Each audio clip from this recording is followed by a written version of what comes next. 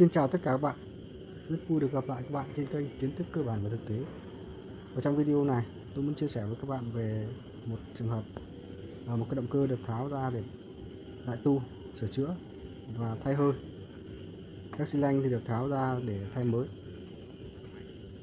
Đây là dạng à, xi lanh ướt này. Xi lanh nó dài hơn Và các cái à, ổ của lốc Ổ xi lanh đó là bên trong ờ, nó các áo nước, các đường nước được vệ sinh sạch sẽ. Trước khi lắp xi lanh mới. Piston thì cũng được thay mới. Và tất nhiên rồi, là xếp măng thì cũng thay mới luôn. Sau đó động cơ được ờ, lắp lại hoàn chỉnh và tiến hành nổ thử.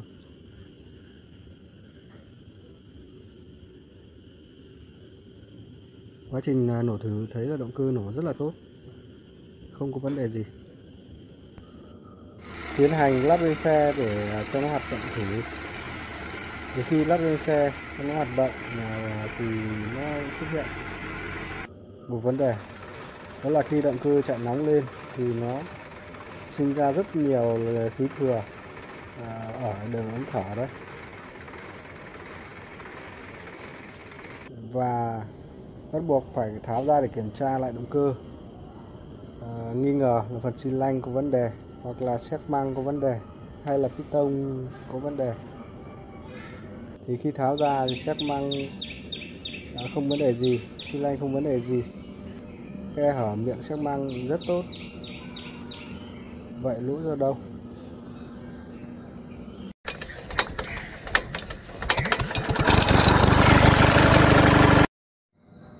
Xi lanh, piston và chắc măng đều không có vấn đề gì. Vậy thì hơi thừa có thể sinh ra từ đâu? Nếu như tôi nói rằng là hơi thừa có thể sinh ra từ phần nắp máy, các bạn có tin không? Tất nhiên là các bạn sẽ à, nói rằng là thật khó tin. Nhưng mà có thể xảy ra đó. Các bạn cần phải kiểm tra kỹ cái à, áp xả này và cái à, thân súp áp xả và dẫn hướng của súp áp xả.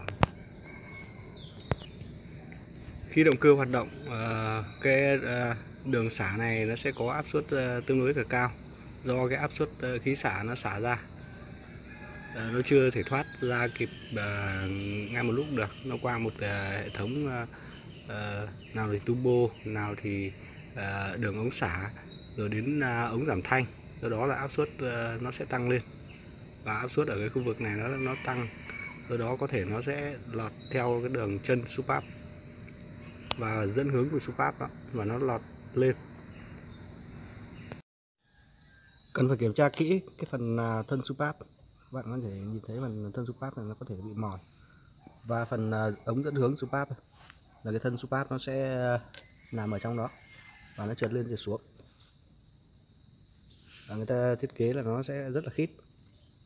Ờ, để làm gì? Để, ngoài cái việc dẫn hướng cho nó, lúc nào nó cũng hoạt động mà chạy lên, chạy xuống à, thẳng, nó không bị lắc. Và hai nữa là nó sẽ cản trở cái áp suất khí thải. Để áp suất khí thải nó không bị à, lọt lên. Đây, nếu như mà nó bị à, mòn quá nhiều, nó dư như này, thì dẫn đến là khi mà động cơ của chúng ta nổ, sau đó nó nó xả. Thì áp suất xả nó sẽ đi ra phía cái cửa xả này. Và nếu như mà ống dẫn hướng và thân xúc bát nó mòn quá dẫn đến khe hở lớn thì một phần à, khí xả nó sẽ lọt qua cái khe hở đó. Và nó sẽ à, lọt qua cái à, miệng của cái à, gít và nó đẩy lên cái nắp dàn cò sau đó từ từ đó nó sẽ đi theo những cái lỗ dầu hồi đây những đường à, dầu bôi trơn nó hồi xuống nó sẽ đẩy xuống các te. Và cái khí thải này nó sẽ chính là cái nguyên nhân để làm à, cho là động cơ nó sinh ra nhiều khí thừa ở cái đường à, thông hơi các te. Cái trường hợp này xảy ra thì có, có thể là động cơ của bạn làm lại nó rất là khỏe rồi nhưng mà nó vẫn có nhiều khí thừa là như thế các bạn có thể à, tranh luận là à, ở cái phần à, chân của Subat đây nó đã có cái, cái phần phớt gít này rồi. Phớt gít này nó sẽ chặn. Nhưng thực tế thì cái phớt gít này các bạn có thể nhìn thấy là cái lợi chắn của nó thì nó nằm ngược lên trên. Và tác dụng chính của nó là nó chắn cái dầu bôi trơn dầu nhớt ở bên trên thân Subat và nó không chảy xuống và không lọt vào bên trong một lúc động cơ thôi. Ờ, chứ nó lại ở bên à, từ bên trong à, ra thì nó lại không có cái lợi chắn do đó là nó không à, có tác dụng. Thứ hai nữa là áp suất nó cao. Và cái thân supap này nó bị dơ lắc này. Thì có thể là cái miệng supap này cái miệng của cái frigid nó bị hở ra. Và khí sẽ lọt ra rất dễ dàng. Vì vậy nên là cần phải kiểm tra kỹ cái phần thân supap nó quá mòn hoặc là cái ống dẫn hướng nó quá mòn thì chúng ta cần phải thay thế nó đi để đảm bảo chất lượng động cơ.